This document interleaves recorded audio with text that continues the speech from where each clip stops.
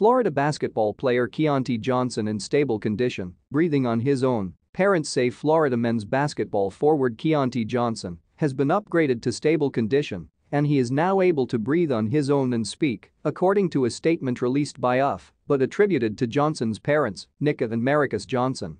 We feel so much love and support from everyone, and we're beyond grateful for the care and attention that Keyontae has received throughout these past several days the statement read.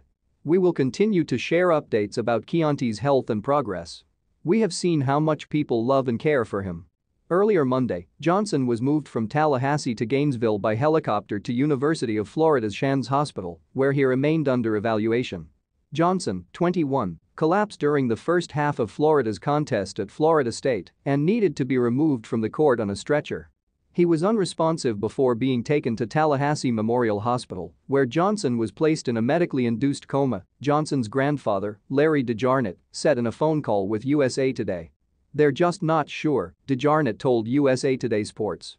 He may have had activity in the brain, so they induced the coma. They put him on medication to keep him sedated. However, Johnson's parents appeared to draw DeJarnett's claims and the claims of others into question with Tuesday's update.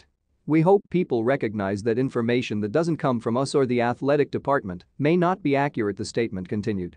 We are working closely with Keyontae's doctors and the UAA to provide information to everyone who cares so deeply about Chianti and has been praying for him. It's unclear if Johnson's condition is connected to COVID-19 or if he had previously tested positive. Florida had to pause team activities last month because of positive COVID-19 tests, and coach Mike White said the team also had previous issues, but details were not released because of privacy laws.